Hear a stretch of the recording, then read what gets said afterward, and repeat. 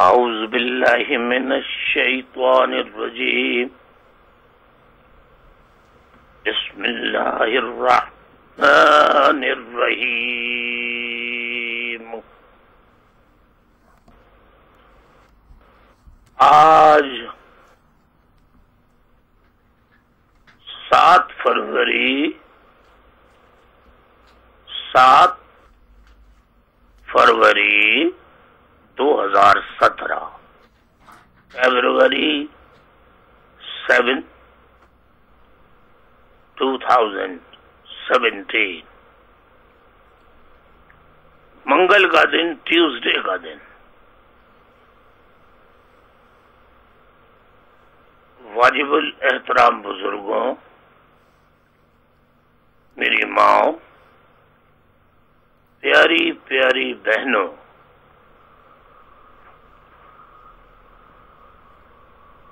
Youth जिन्होंने मुझे अपनी आँखों से नहीं देखा, उनमें लड़की भी हैं, लड़कियाँ भी हैं। उन सबको हत्या के मासूम मासूम बच्चे बच्चियों, तमाम शोभाजात को शोभाजात के एक एक जिम्मेदार और गुमनाम कारकुन को अहले पाकिस्तान के तमाम मजलूमों को। अस्सलाम अलैकुम।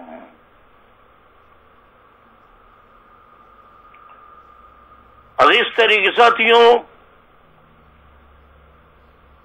आज मैं इंतहाई अहम मौजू पर आपसे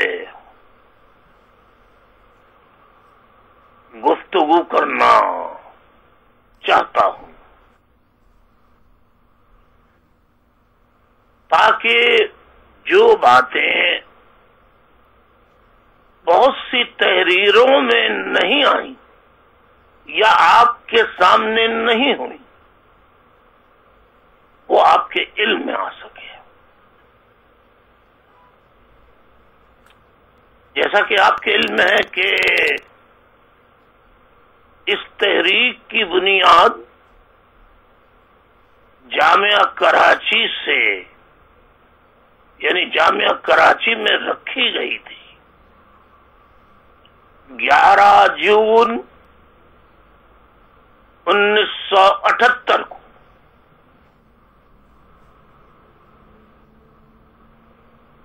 और नाम रखा गया था स्टूडेंट्स ऑर्गेनाइजेशन का और पाकिस्तान मुहाजिर स्टूडेंट्स ऑर्गेनाइजेशन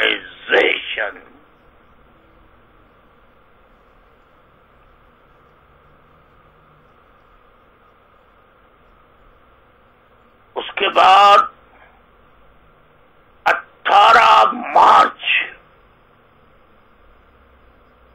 उन्नीस को अवामी सतह पर मुहाजिर कौमी मूवमेंट तश्कील दी गई। और जब कराची के लोगों का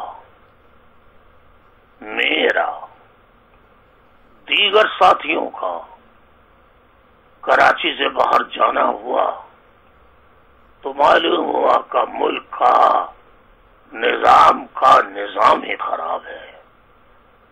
मुल्क में चंद खानदानों की हुक्मरानी है, वडेरा शाही है, जागीरदाराना निज़ाम है, सरदाराना निज़ाम है,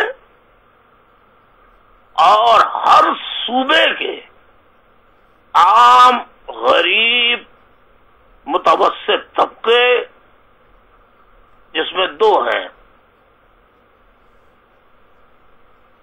लोअर मिडिल क्लास और मिडिल क्लास। और एक और आ जाता है इसमें अपर मिडिल क्लास।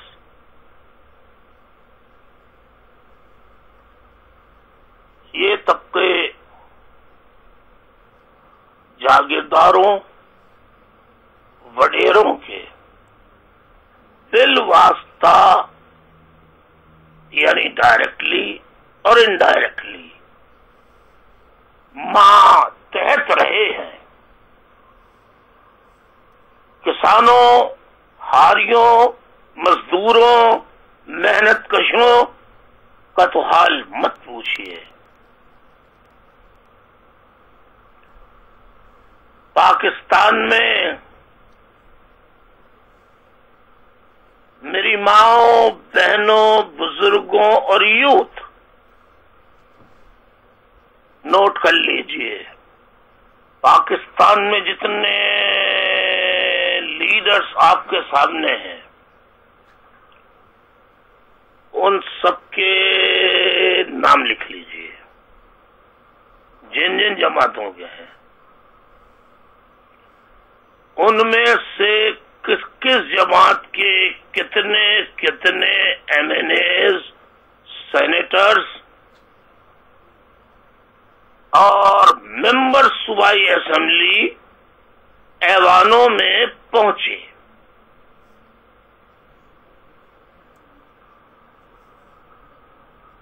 और जब आप लीडरों की फहरिस्त बना लें तो उसमें पहला सवाल तो यह है कि कौन सा लीडर ऐसा है जिसने खुद सूबाई या कौमी असम्बली का या सेनेट के ऐवान का इंतखाब न लड़ा हो। आपको अल्ताफ हुसैन के अलावा कोई और नाम नज़र नहीं आएगा। नंबर दो।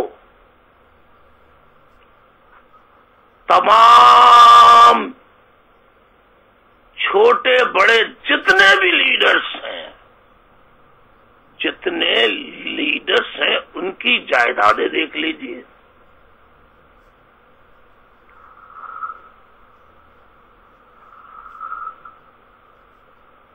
उनकी मिल्कियत देख लीजिए।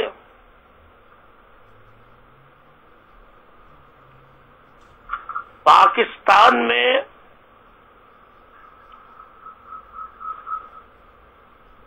मैं इस तहरीक की बुनियाद रखने वाला हूँ।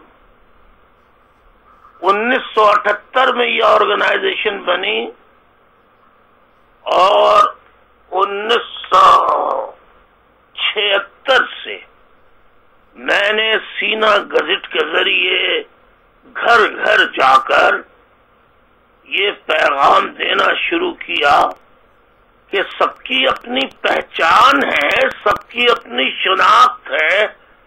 हमारी पहचान क्या है? हमारी शनाख्त क्या है?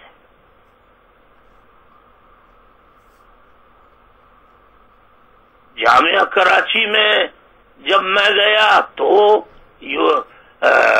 कॉलेज में गया तो हर जगह मैंने देखा कि दाखिलों के वक्त जब दाखिले, दाखिलों का आवाज़ होता है जब, या कोई और मौका होता है, हर जमात G S N student federation Punjabi students association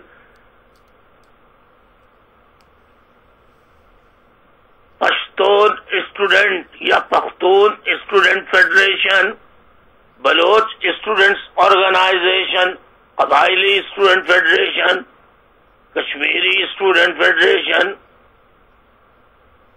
हर लिसानी जमात और शनाख्त के नाम से बैनर लगे होते थे और उनके अपने अपने अलग स्टाइल होते थे। मुहाजिर या तो इस्लामी जमीयत तलबा में होते थे या कुछ लिबरल में चले जाते थे, कुछ प्रोग्रेसिव पार्टी में चले जाते थे, लेकिन वहाँ भी उनकी हैसियत जो है, वो एक गुमनाम कारकुन या अगर उनसे कोई मफाद हासिल हो सकता है तो आगे लाकर मफाद निकाल कर उनको भी दूध की, दूध में से जैसे मक्खी निकाल कर फेंकते हैं, उन जमातों से फेंक दिया जाता था।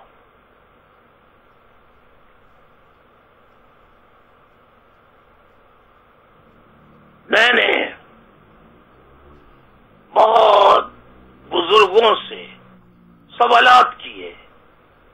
हमारी शनाख्त क्या है? पाकिस्तानी। लेकिन पाकिस्तान में मुझे पाकिस्तानी तो कोई नज़र नहीं आया। पंजाबी नज़र आया, सिंधी नज़र आया, बलोच नज़र आया, पश्तून नज़र आया, पख्तून नज़र आया, गिलगिती नज़र आया, हजारवाल नज़र आया, कश्मीरी नज़र आया सिंधी नज़र आया। लेकिन पाकिस्तानी कोई नज़र नहीं आया। हम जब इंटरव्यू देने जाते थे, नौजवानों, यूथ, जब आप सीएसपी का आईएसएस का एग्ज़ाम देंगे, अगर आप ब्यूरोक्रेसी ज्वाइन करना चाहते हैं 20, 19, 18, 17 ग्रेड की नौकरी चाहते हैं आप। और बड़े अहदे पे काम करना चाहते हैं। तो आपको ये इम्तहान पास करने होंगे। इसमें मुहाजिर अगर इस इम्तहानात में रिटिन टेस्ट में अगर टॉप भी कर लें तो जब इंटरव्यू होता था तो इंटरव्यू में पूछा जाता था, आप कौन हैं? मैं पाकिस्तानी हूँ। कहने, नहीं, पीछे से बताइए, पीछे से कहाँ से है? तो पीछे से क्या मतलब? कहने लगे कि वो, आप ये बताएँ कि आपके वालदेन का ताल्लुक कहाँ से है? हमारे वालदेन का ताल्लुक तो इंडिया से था, हम उन्नीस में हमारे वालदेन हिजरत करके आए थे। अच्छा तो तुम महाजिर हो। नहीं नहीं, मैं महाजिर नहीं हूँ, मैं पाकिस्तानी हूँ, मैं पाकिस्तान में पैदा हुआ हूँ।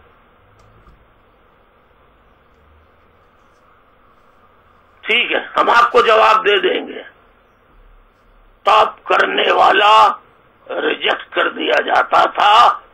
और सन्स ऑफ़ द सॉइल जो होते थे, उनको चुन लिया जाता था। तो हमें मुहाजिर कहने पर, सोचने, समझने पर मजबूर किया गया। हम पाकिस्तानी बन के आए थे, हमें मुहाजिर बनने पर मजबूर कर दिया गया। कहीं मक्कड़, कहीं तलियर, कहीं पनागीर, कहीं मटरवा। और कहीं मुहाजिर इसमें सबसे बेहतर शनाख्ती नाम। हमने वही अपनाया जो सरकार आलम सल्लल्लाहु अलैहि वसल्लम, नबी आखरुजमा सल्लल्लाहु अलैहि वसल्लम ने अपनाया था। और आप महाजिर मदीना बने थे। आपने मक्के से मदीना हिजरत की थी। और मुहाजिर और अंसार की तारीख अगर आप निकाल दें तो इस्लाम की तारीख अधूरी रह जाएगी। कुरान मजीद में भी लफ्ज मुहाजिर आया है। हमने इस मुबारक नाम को चुन लिया और अपनी शनाख्त मुहाजिर नाम से कराना शुरू कर दी। और लोगों को मुहाजिर नाम पर जो उनके साथ जातियाँ, उनके साथ डिस्क्रिमिनेशन विक्टिमाइजेशन होता था, हमने उसके खिलाफ आवाज़ उठाना शुरू की। आहिस्ता आहिस्ता तहरीक आगे बढ़ती रही, आगे बढ़ती रही। लेकिन इब्तदाई से साजिशों का सिलसिला शुरू हो गया। अभी तंजीम को बने एक साल नहीं गुजरा था और तंजीम ने कदम जमा लिए थे थोड़े बहुत। तो जिम्मेदारों ने जिनको मैं लाया था तबलीग करके घंटों घंटों तबलीग करके वो खुफिया इजलास करके मेरे खिलाफ बगावत कर गए। मैं अलहदा हो गया। ये सेवेंटी नाइन की बात बता रहा हूँ मैं। जब मैं जेल से रिलीज़ होकर आया था, नौ महीने पाँच कोड़े की सजा भुगत कर summary military court general Ziaul Haq की अदालत से, उनकी समरी मिलिट्री कोर्ट से।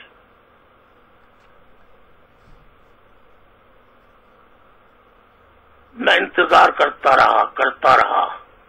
दिल आखिर वो लोग जिन्होंने मेरे खिलाफ साजिश की थी, उनका मकसद साजिश करना था लीडर लीडर बनना था, लेकिन मुझे लीडर नहीं बनना था। मैं तो एक उस्ताद की तरह, एक मुशफ़ बाप बड़े भाई की तरह समझाता था कि भाई, अपने हुकूक के लिए जिद्दोजहद करना सीखो। बिल आखिर वही लोग जो मुझे छोड़ के गए थे, वो आए और सुने, माफिया मांगी। फिर नहीं और फिर मुझे वापस चेयरमैन बनाया गया। एपीएमसो का फिर दूसरे साल उस वक्त अजीम भाई जनरल सेक्रेटरी जो बाद में चेयरमैन बने, मेरे और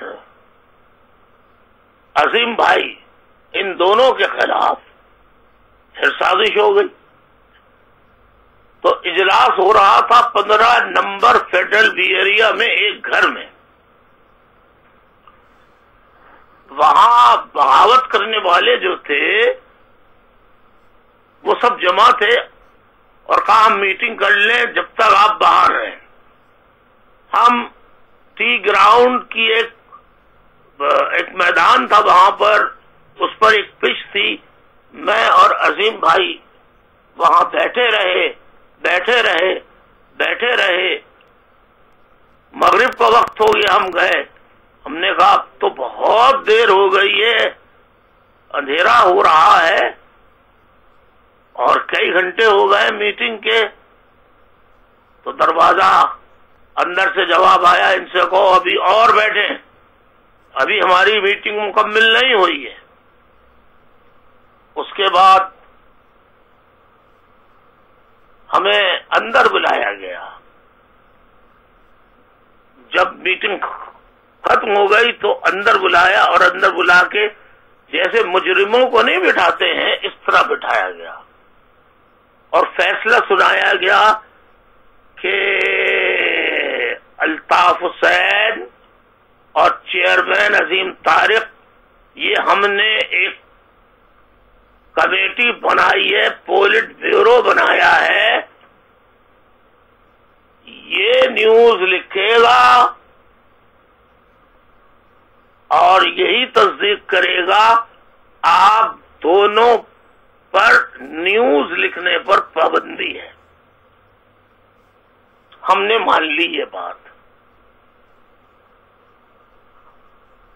अजीम भाई थोड़ा नाराज़ हुए, मैंने कहा, नहीं अजीम भाई मान लीजिए आप।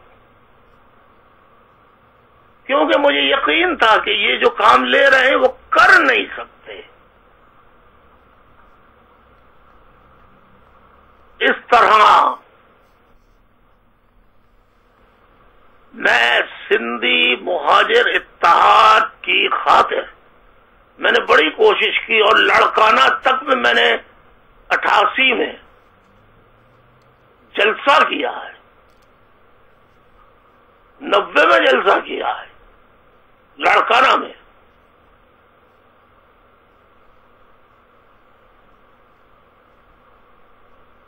तो आहिस्ता, क्योंकि अंदरून सिंध मुहाजिर तलबा को सिंध यूनिवर्सिटी हो, जामशोरो यूनिवर्सिटी हो, एलएमसी हो जरा यूनिवर्सिटी टंडो जाम हो यहाँ दाखिल नहीं होने दिया जाता था, उनके साथ बद फैली होती थी, उन्हें मारा जाता था।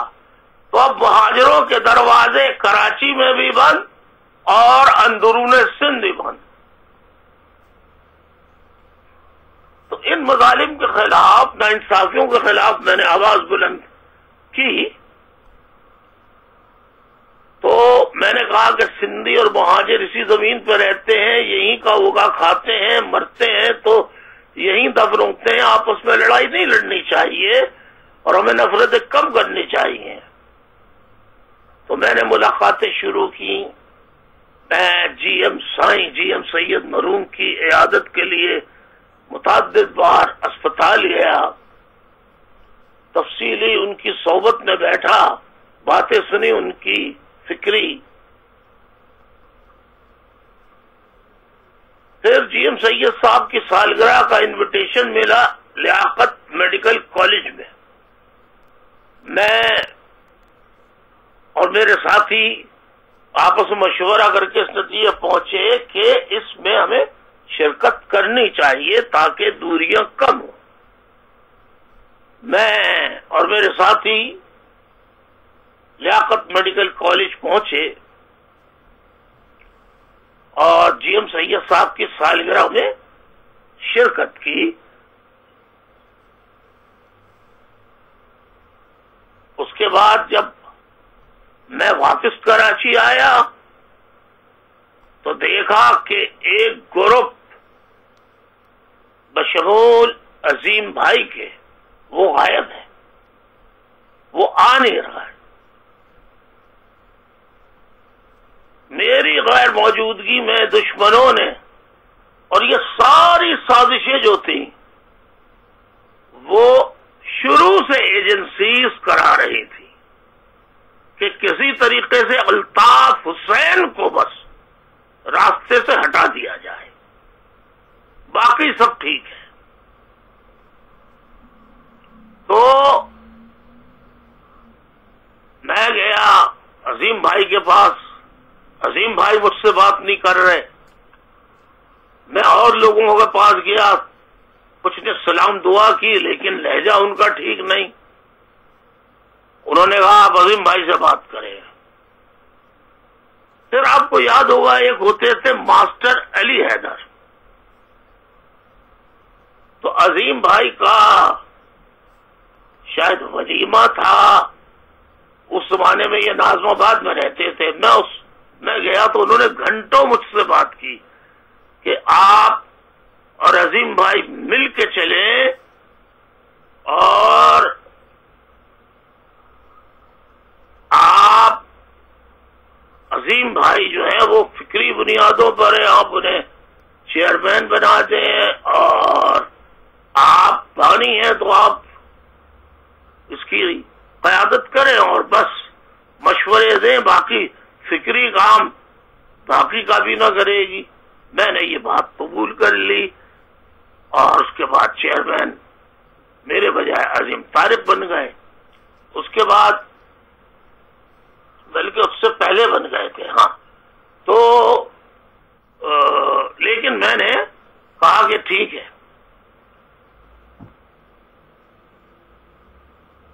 तो मुझ पे ये इल्ज़ाम लगाया कि मैं जीएम सैयद साहब के हाथों बिक गया हूँ जीएस इनके हाथों बिक गया हूँ, मुल्क दुश्मनों के हाथों बिक गया हूँ और सिंधु देश बनाना चाहता हूँ। मैंने अजीम भाई को समझाया, मैंने सब लोगों को समझाया, खुदा को माने आप कहाँ से, हर चीज़ तो आपके सामने हो रही है। कोई चीज़ मैं बंद कमरे में करता ही नहीं। मैं तो इजलास में फैसला करता हूँ, जो भी होता है, आप सबके सामने डिस्कशन होता है। कहने नहीं, हमें इतला मिली है, ये, वो, बड़ी मुश्किल से मैंने समझाया। गर्व ये कि उसके बाद भी मुताद बार इस किस्म की हरकतें होती रही और फिर एम क्यू एम मज़बूत से मज़बूत होती रही अठासी गया, नवासी आया, नब्बे आया। हर हुकूमत ने हम पर जुल्म किया। हर एजेंसी ने हम पर जुल्म किया। और हमारे खिलाफ झूठे झूठे फतवे लगाए। हमें मुल्क दुश्मन गद्दार शुरू में साबित करने की कोशिश की, फिर उन्नीस सौ बानवे को हकीकी को फौजी ट्रकों में बिठा के लाए और सारे ऑफिसों पे, यूनिट ऑफिसों पे, सेक्टर ऑफिसों पे, जोनल ऑफिसों पे गन पॉइंट पर कब्जा करा दिया। मैंने सबसे कहा, हाइडिंग में या जिला वतनी 92 में जो जिला वतन हुए थे, उसमें हज़ारों साथी, आज कनाडा, अमेरिका, जर्मनी, ऑस्ट्रेलिया और दुनिया के दीगर ममालिक में जिला वतन आज तक है।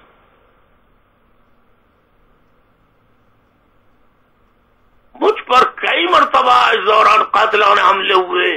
मैंने पहले भी बताया था, जब मुझ पे ग्रेनेड से खुदकश हमला हुआ, अल्लाह ने मुझे बताया बचाया, उसके बाद मुझे लंदन भेज दिया। क्या आप मरकजी कमेटी ने लंदन जाइए, वहाँ से हमें गाइड कीजिए।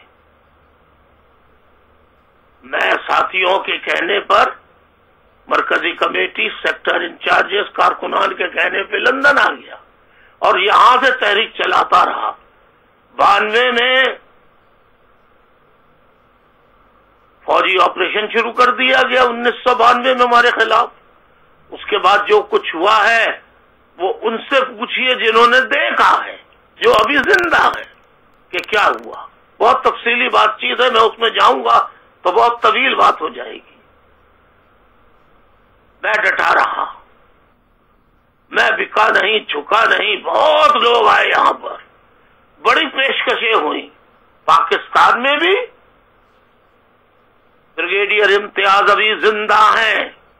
उन्होंने टेलीविज़न पर आकर खुद कहा कि मैं पैसे लेके गया जनरल हमीद गुल मरहूम ने मुझे पैसे दिए कि ये लो जी, हर आदमी की कीमत होती है।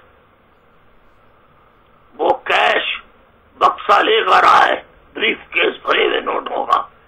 मैंने कहा खोलिए क्या है? तो उन्होंने खुद टेलीविज़न पर कहा कि अल्ताफ सिंह ने लात मार दी कि मैंने इसलिए तहरीक नहीं चलाई थी। मुझे डिफेंस क्लिफ्टन इस्लामाबाद में बड़ी बड़ी जमीनें देने की एजेंसियों ने पेशकश की, मैंने सब ठुकरा दिया।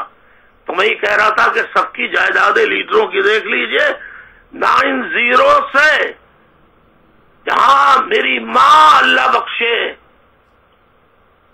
मेरी तरबियत किया करती थी, मेरे भाई बहन रहते थे, वही घर है आज भी, जो अल्ताफ हुसैन का नहीं, सारे बहन भाइयों का है। उस पर ताला डाला हुआ है।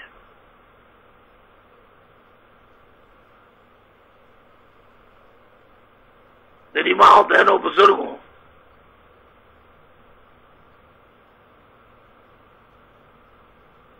उसके बाद आपको मालूम है कि 2013 को ऑपरेशन क्लीन अप के नाम पे जरब अस के नाम पे और पता नहीं किस किस के नाम पे नेशनल प्लान और सबरी मिलिट्री कोर्ट मैंने इनकार किया। वाहिद आदमी था। दो घंटे तक इजलास डिले हुआ। मुझसे इसाकदार ने, मुझसे रहमान मलिक ने मुझसे सारे लोगों ने बात की कि आप कहे दस्तखत कर दें, मैंने कहा नहीं। हम फौज जी अदालतों के खिलाफ थे, खिलाफ है, और फौज का सियासत में सियासत में हिस्सा लेने के हम खिलाफ हैं। कहने लगे, नहीं, ये सिर्फ़ वक्ती होगा और जेट ब्लैक जेट ब्लैक दहशत गर्दों के खिलाफ होगा। जो मज़हब का नाम लेके लोगों की गर्दनें काटते हैं, मजारात पे हमले करते हैं, नमाजियों पर हमले करते हैं, मसाजिद पर हमले करते हैं, और फौजी तनसीबात पर हमले करते हैं जीएचक्यू पर हमला करते हैं। मैंने कहा, ठीक है। यकीन दिलाया था उस वक्त जनरल राही शरीफ साहब, चीफ ऑफ़ आर्मी स्टाफ थे, और रिजवान अख्तर आईएसआई के चीफ थे। महाराज नहीं, उस वक्त जनरल क्या नहीं थे नहीं रिजवान अख्तर थे, ठीक है। तो पहले ये डीजी रेंजर्स थे, रिजवान अख्तर।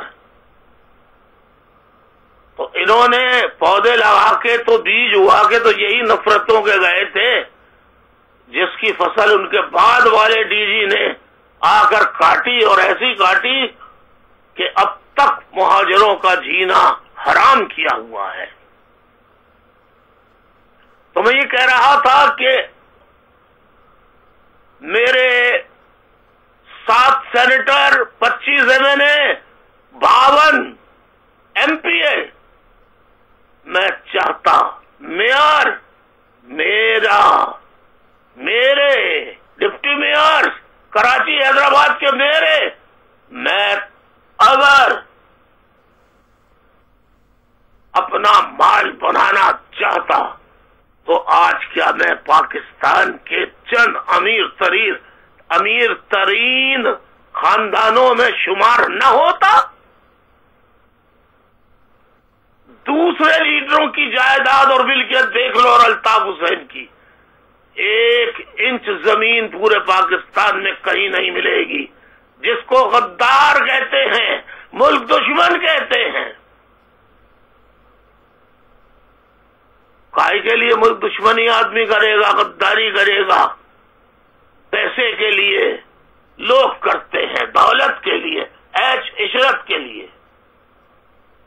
मेरे पा, मैंने अपनी ज़िंदगी में और मेरे पास आज तक कसम खुदा की मैं बैठा ही नहीं, बुलेट प्रूफ गाड़ी के अंदर। मेरे सैकड़ों लोग बुलेट प्रूफ गाड़ी इस्तेमाल करते हैं। तुम्हारे अल्ताफ भाई ने नहीं की। मेरे भाइयों, आइए अब पच्चीस साल की उम्र में मैं जेल में था। फारूक सत्तार को मेयर बनाया।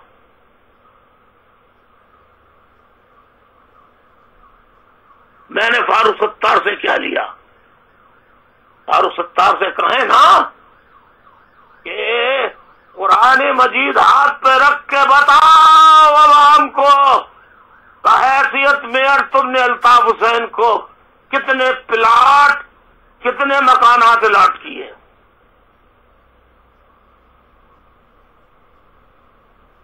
ये समंदर पार पाकिस्तानी वज़ीर बने।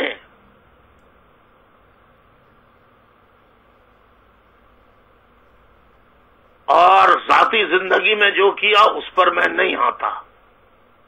वो जाती ज़िंदगी है पर्सनल मैं उस पर नहीं आता। जितने एम एन एमएनएस बने एमपीएस बने, उन्नीस सौ बानवे के बाद जब मैं यहाँ आ गया हाँ तो मैं ये कह रहा था बार बार की गद्दारियों के बाद फिर ये तय हुआ कि भाई एक एक आइन में सारे कारकुनों का इजलास बुला के, सेक्टरों का, यूनिट्स का, जोनों का इजलास बुला के पूरे पाकिस्तान के के आयद तहरीक, अल्ताफ हुसैन के बहुत से बातों को लोग गलत रंग देते हैं और उन्हें मजबूर गलत गलत बातों पर करते हैं।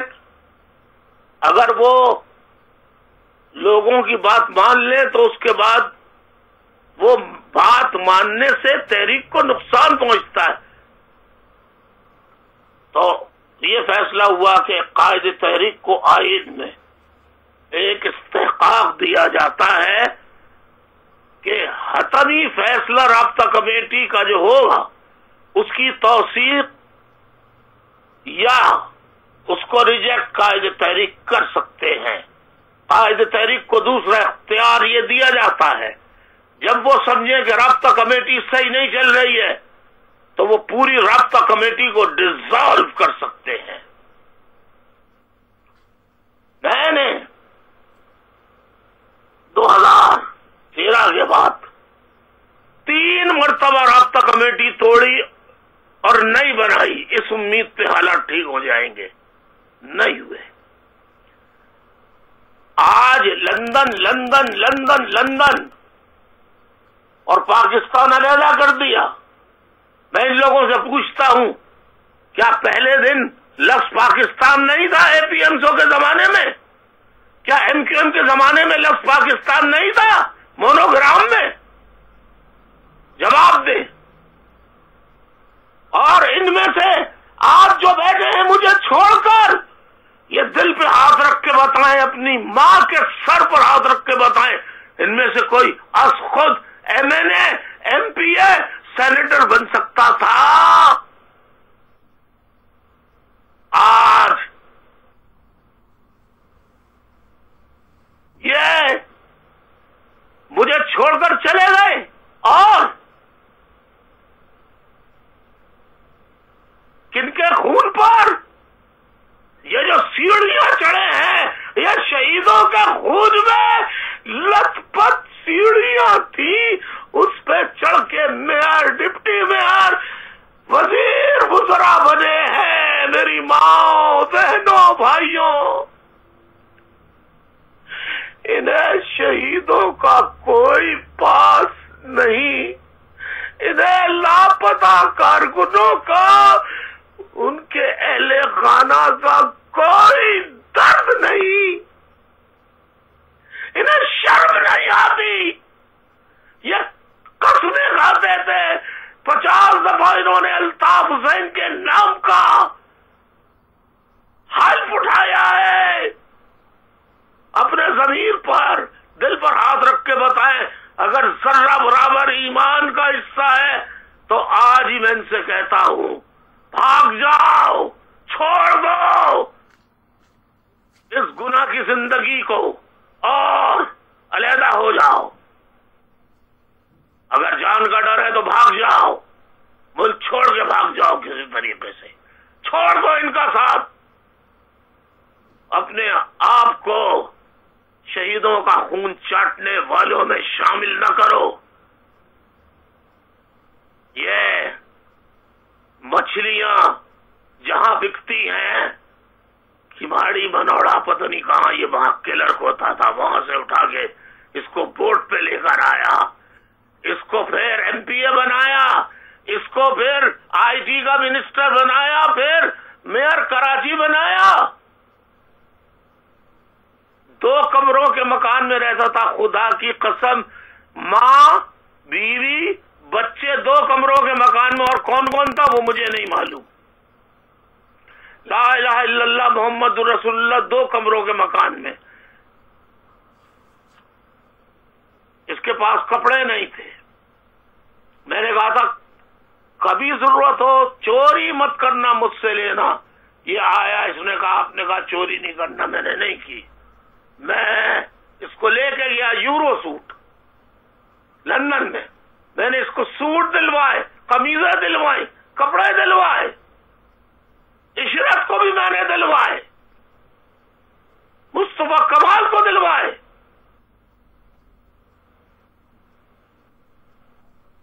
आज हैदराबाद में जो शहनशाह बने फिरते हैं और शहनशाह बन के अकड़ते हैं, बने तो नहीं फिरते, लेकिन चलते अकड़ के हैं। उनकी हालत भी सब जानते थे, उनके अहले खाना की भी सब हालत जानते थे। मैं जातियात पर नहीं आऊँगा। मैं जातियात पे नहीं आऊँगा। लेकिन, जब इनकी मेयरशिप खत्म हुई तो उन्होंने कहा, मैं क्या करूँगा? अब दो घर के मकान में कैसे रहूँगा? मेरी जान को बहुत खतरा है।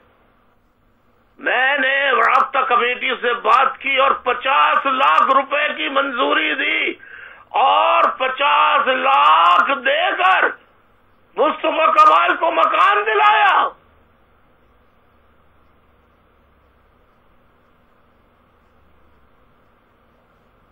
आज ये डिफेंस के बंगलों में कहाँ से रह रहे हैं? हैदराबाद के बंगलों में कहाँ से रह रहे हैं?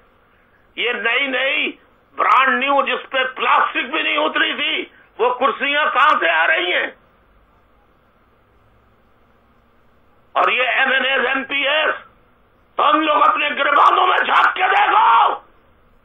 तुम क्या कहते थे? अल्ताफ भाई, आखिरी आदमी होऊँगा जो आपके साथ हूँगा मैं आपका बेटा हूँ। नहीं हो बेटे।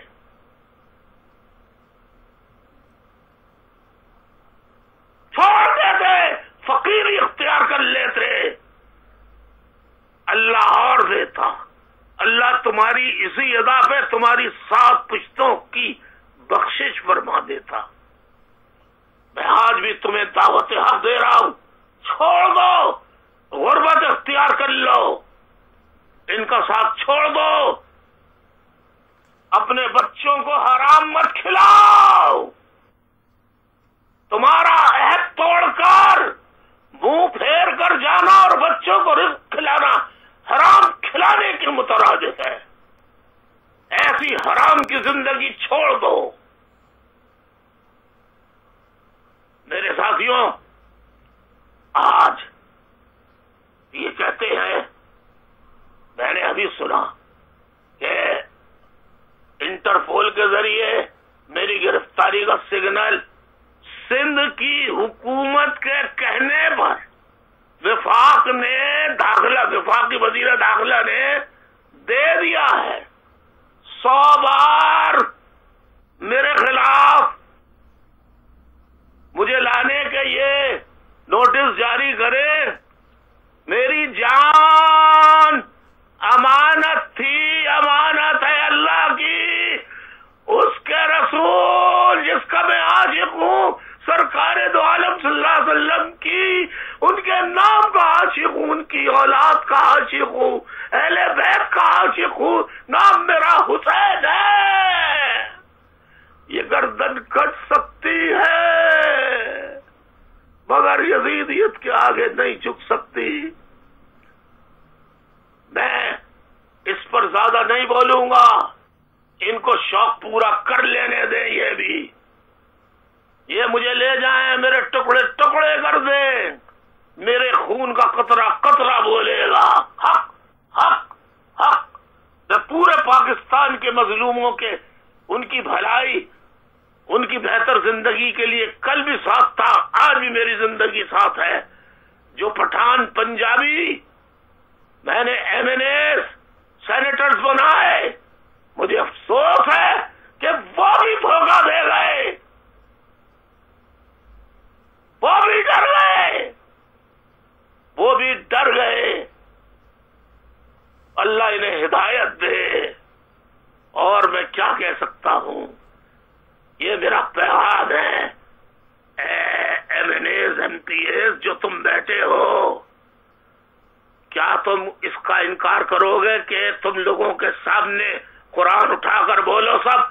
फारूक सत्तार से मैंने भरी महफिलों में नहीं कहा कि तुम पीआईबी में डेरा जमाना खत्म करो पीआईबी का ऑफ़िस बंद करो, नाइन ज़ीरो आकर बैठा करो। कहीं ऐसा ना हो कि मुस्तकिल पीआईबी में अपना घर बना लो। वही हुआ, देखो मेरे भाइयों, वही हुआ। हुआ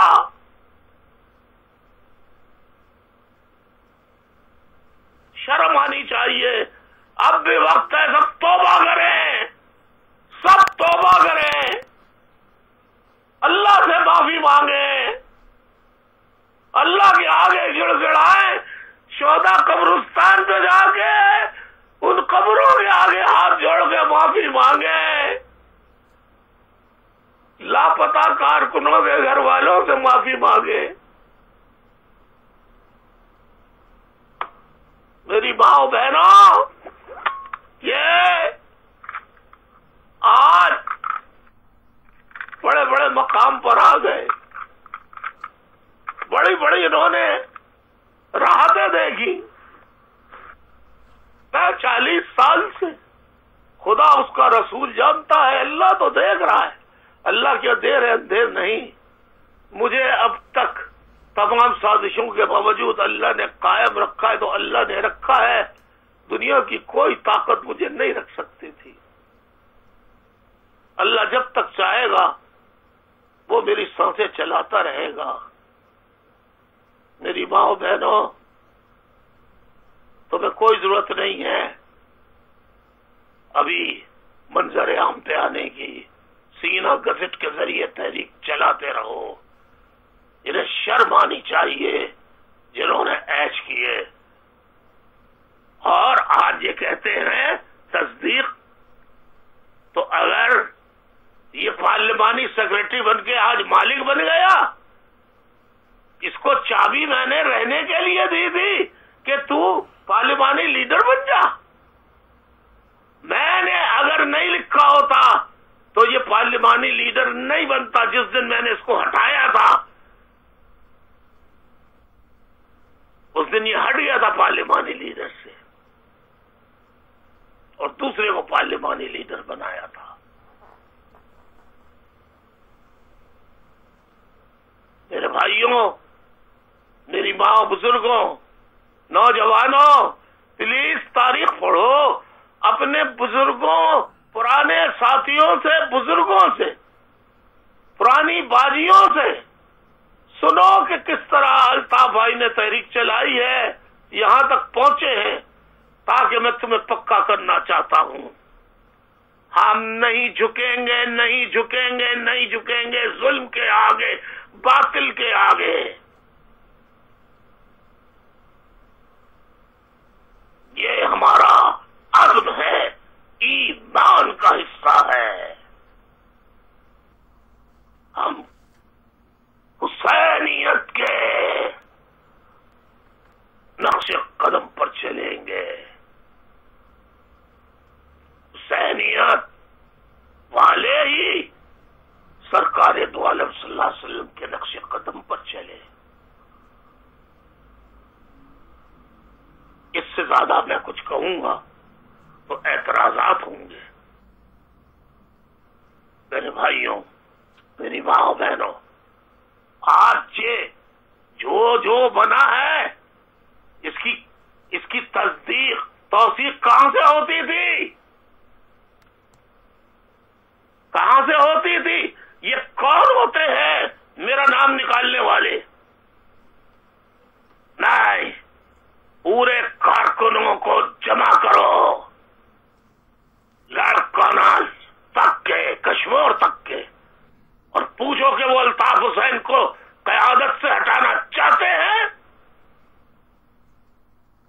ये ताकत के ज़रिए मैंने कल भी कहा, और आज भी रेंजर्स का एक नोट आया है। कल मैंने कहा था, लेकिन अभी तक कोई उस पर एक्शन नहीं हुआ कि फला जगह से असला मिला है और ये एम क्यू लंदन को के, के को इस्तेमाल कर रहा था।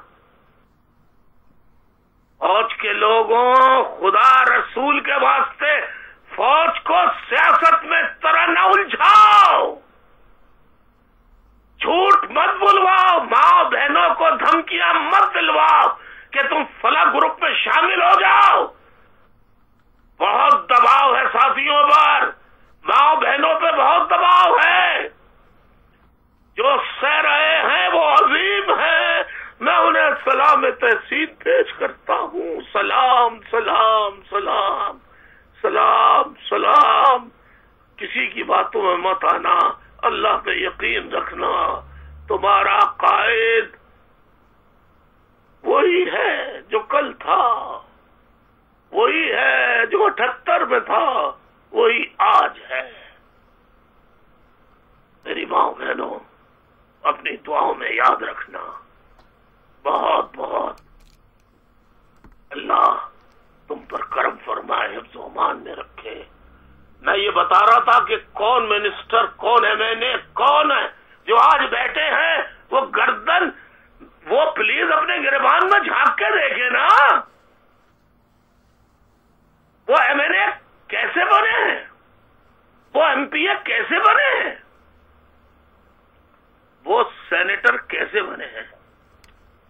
मैं होता, अगर नहीं कर सकता और मेरा जमीर ज़िंदा होता, मैं इस्तीफा दे देता। भाग जाता। ठीक मांग लेता। लेकिन बातिल के आगे सर नहीं झुकाता।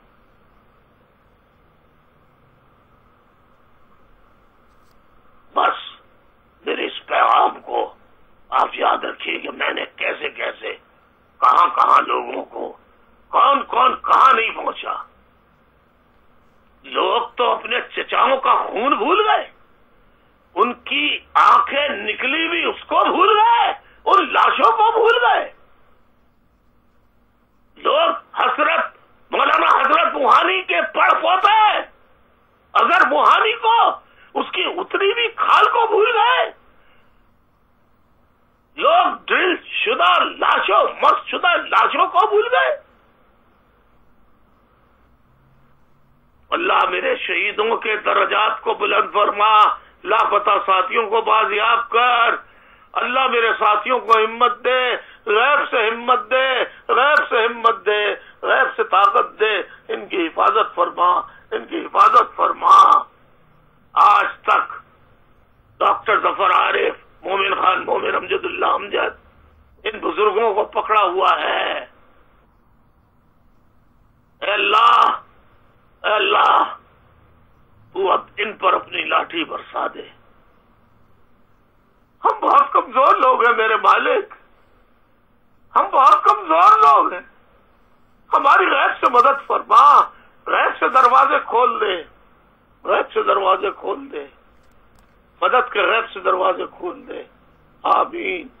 सुम्मा आमीन इत्ताद जिंदाबाद इत्ताद कायम रखना इत्ताद कायम रखना इत्ताद कायम रखना इत्ताद कायम रखना, अपने कायद पर यकीन रखना। चालीस साल आजमा चुके हो यार, अब कितना आजमाओगे? बहुत बहुत। अल्लाह सबका भला करे, बच्चियों को, बच्चों को प्यार, सबको सलाम। दुआएँ। इजाज़त चाहता हूँ। अल्लाह हाफिज।